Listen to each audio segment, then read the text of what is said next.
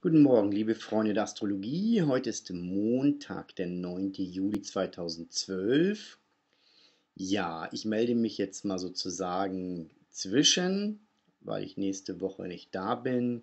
Dann ab Mitte übernächster Woche dieses Tageshoroskop wieder regelmäßiger. Trotzdem wollen wir heute mal einen vertieften Blick wagen in das, was gerade so anliegt oder ansteht. Gut, beginnen wir mit der Sonne.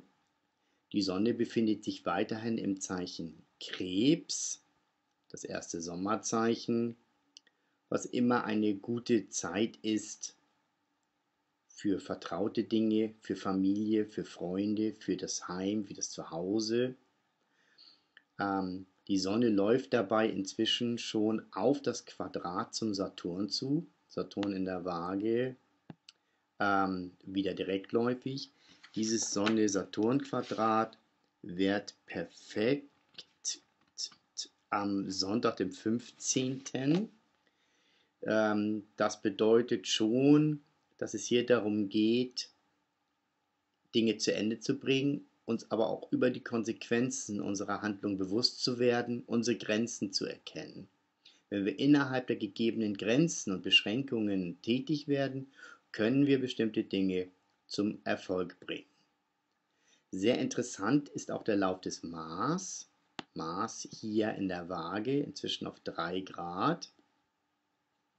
Mars wird aus der Waage heraus ähm, die Konflikte in den kardinalen Zeichen, die astrologisch das Symbol sind für die großen Krisen, in der wir uns befinden, aktivieren in kardinalen Zeichen steht Pluto im Steinbock, Uranus im Widder, beide im Quadrat zueinander, stören die Ordnung, wollen eine neue Ordnung, aber die alte Ordnung sozusagen ähm, arbeitet dagegen an.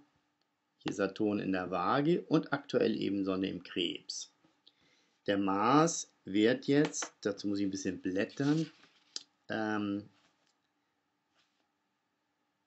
äh, Maßwert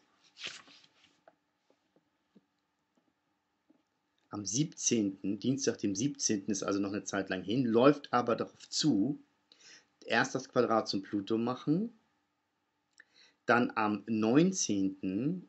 die Opposition zum Uranus und damit in diesen Tagen ähm, diese Konflikte aktivieren auch. Ne? Mars in der Waage versucht immer diplomatische Antworten zu finden, was wir auch auf der politischen Bühne sehen können oder auch bei uns im Privaten, stößt aber dann auch auf seine Grenzen. Konkreter.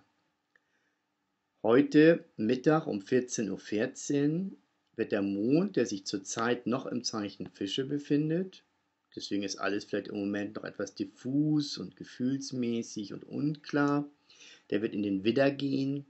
Da wird es einen gewissen Aktivitätsschub geben, der nicht ganz ohne Spannung sein wird, weil der Mond ja dann in den Abendstunden zwischen 8 und 9 in die Opposition zum Mars läuft.